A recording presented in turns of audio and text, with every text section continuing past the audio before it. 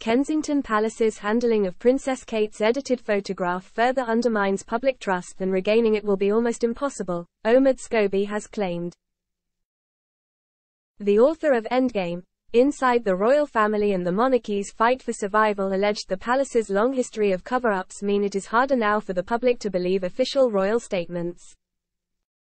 Mr. Scobie posted the remarks on social media on Monday, March 11, after the Princess of Wales publicly shouldered the blame for a manipulated family photo issued by Kensington Palace.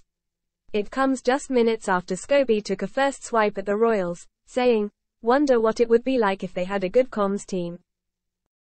Kate said sorry in a statement released on X which read, Like many amateur photographers, I do occasionally experiment with editing. I wanted to express my apologies for any confusion the family photograph we shared yesterday caused. I hope everyone celebrating had a very happy Mother's Day. See. The snap of Kate, Prince George, Princess Charlotte and Prince Louis was taken by Prince William. It was the first to be issued since the princess planned abdominal surgery and was released by the palace to mark Mother's Day.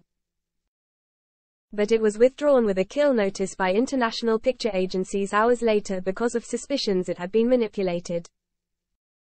Mr. Scobie, who has been dubbed Prince Harry and Meghan Markle's mouthpiece in the past, wrote on X, It's fair to say that most photos released by the offices of public figures have been retouched in some way, so if this was an isolated incident then it would just be an unfortunate error.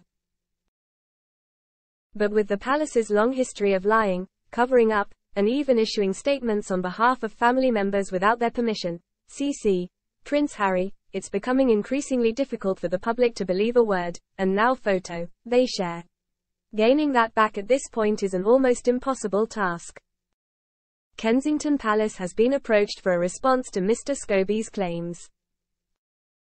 While Mr. Scobie didn't specify what he had in mind when he referred to palace statements being issued without permission, Prince Harry claimed in the second volume of the Sussexes Netflix DOCU series that a statement issued in response to previous reports of William bullying his brother out of the royal family was sent out without his knowledge.